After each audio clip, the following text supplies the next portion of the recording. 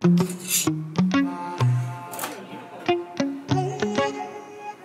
overhead, and I guess I love to watch the way you make me into a mess.